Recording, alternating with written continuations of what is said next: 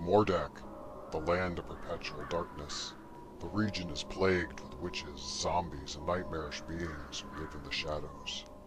Bring light when you travel here, as you never know what can be watching from the dark.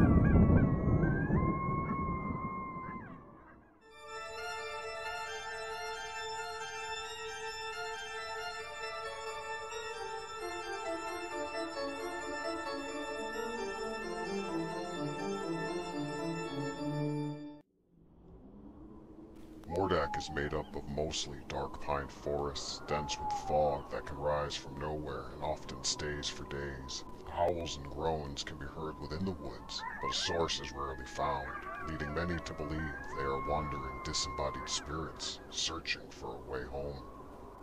The land is shrouded in perpetual twilight, the night never ending, the sun never rising in known memory. Many believe it's magical in nature, while others believe it's a curse from an ancient demon or spirit, but in truth, nobody really knows. The roads and outskirts of towns and villages are lined with jack-o'-lanterns. The people believe the faces carved into the pumpkins, along with the light of candles, ward off evil spirits. Jack-o'-lanterns are carved daily and replaced as needed, each family unit responsible for lighting the area around where they live. Homes are built with black stone and never built with windows, as the people of Mordak believe leaving holes in a building will invite evil spirits. Shelves are cut into the outside walls and lined with candles. This is meant to scare away the dark and any lingering spirits. This leaves the outside walls thick with wax, a symbol of good luck since the wax has been blessed with the light of flame. Inside, dozens of candles and roaring fireplaces illuminate every room of every building. The people of Mordak never for a moment let the dark overtake them, believing once they do, the realm between the living and the dead will open. This leads many to have a fear of the dark, reasonable as many who venture into the shadows of night never return.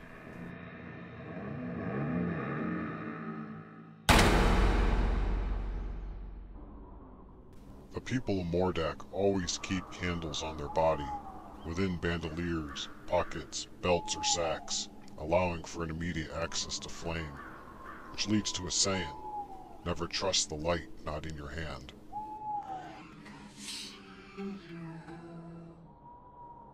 The people are extremely superstitious, believing black cats are bad luck, mirrors can trap and release souls, sneezing after saying one name means death, and all keep trinkets of cold iron and a pouch of salt and sage in their pockets or around their neck, in case a demon should get too close.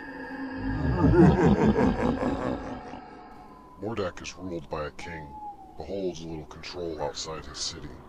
Instead, each town or village is controlled by an elder, as those who manage to survive into old age are worthy of following.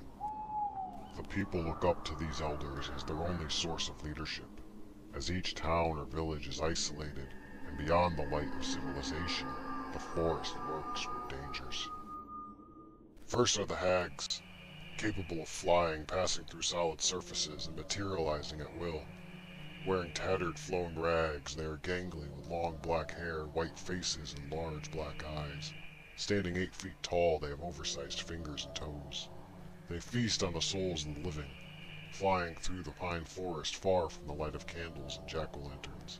They will often wait underground and drag their victims into the dirt, suffocating them before absorbing their essence, leaving only a dry, withered husk. Next are the witches, often mistaken for hags. They live deep in the pine woods within overgrown cottages, covens of up to a dozen. Their bodies are aged and twisted, their faces wrinkled with crooked noses and skin dotted with hairy moles. They use illusion and charm spells to lure victims into their lair with the disguise of being a good-looking man or woman in distress.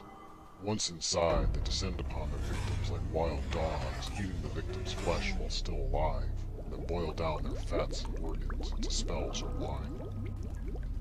Their cottages are often decorated with bones, their walls layered with dry skins and stink of rot, and and in the center, an iron cauldron where the witches create their potions. Some witches wander into town disguised as a young maiden and sell their potions or wine in exchange for things they may need or to eye new victims.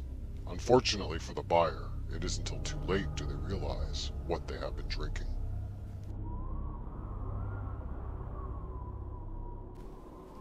The pumpkin heads roam the pine woods and are packs of leathery humanoids with jack-o'-lantern heads. They run on all fours, howling and growling, and are always hostile, attacking with sharp claws, breathing fire, and biting with bone-like teeth protruding from its pumpkin head.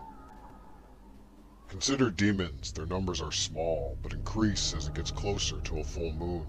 During that time, most people in settlements hide, barricading their homes till the moon begins to wane. When the sky is bright, get out of sight. When the woods groan, hide in your home. The Dark Farmsteads was once a region of rich farmland long ago, before an unknown ancient blight cursed the grounds. The farms have long since been abandoned, and are in a state of perpetual decay. Old corn withers and dries, never growing and never fully dying. Undead pigs, cows, horses still graze the fields and live within dilapidated stables. Homes and windmills have fallen into disrepair, but never collapsing. The wood has turned black and rotting. Doors are rusted closed, and vines and moss often net entire buildings. Animated scarecrows wander the fields, killing anyone who enters, and uses the dead as feed for the undead livestock.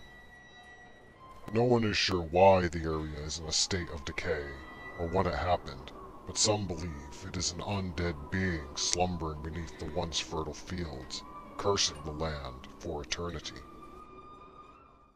The Grave Fields, a region of cemeteries along the northern border centuries old, Thousands dot the area and are rumored to be from a massive war once fought on the continent, although little historical documents can be found.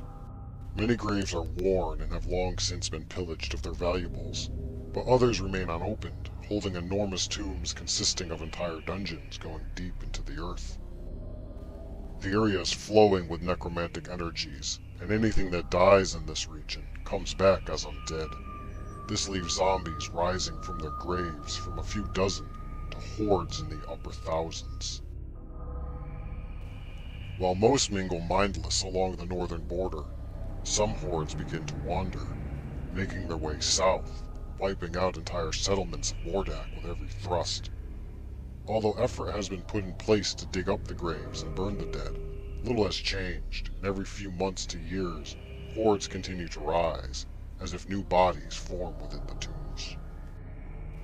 Every horde has been dealt with so far, but at a cost, and every generation of Mordak is left smaller than the one before it, with some believing there is only a generation or two left before they can no longer stem the tide. Cults have come to the area, taking advantage of the natural necromantic energies that linger within the graves. Hoping to gain favor with demons and dark gods, some come for power, some to cause chaos, but all have exacerbated the problem by enriching and strengthening the necromantic energies of the area, causing the undead to rise in accelerated numbers.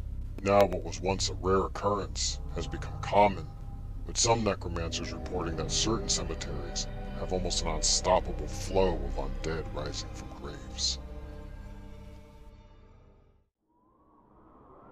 The dangers are stacked against you should you play here. But if you can brave the dark of Mordak, remember, it's what you can't see that is coming for you.